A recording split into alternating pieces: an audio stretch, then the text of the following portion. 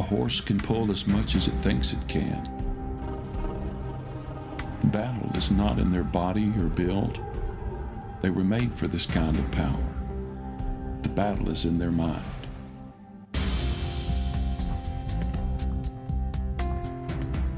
When we're training a horse, we make sure that we hook it to a load that we know it can pull. It's a process that starts with something as small and simple as a tire.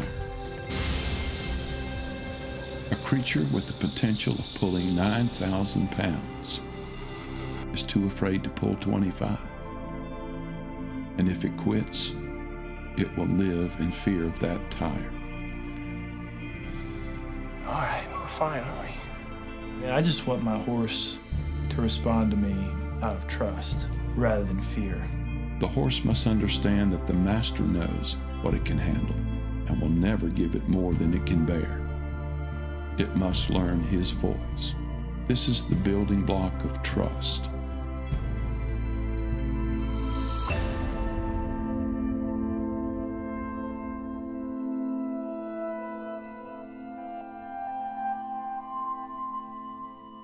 The training of a horse never ends.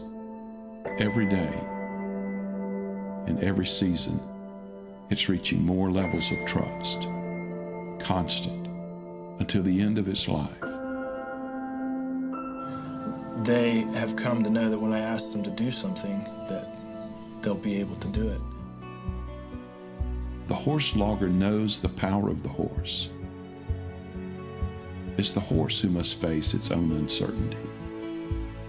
But when its master speaks, the horse remembers the tire and it starts to pull. So many of us never make it past the tire, despite being created for so much more. Find more stories like this at moments.org.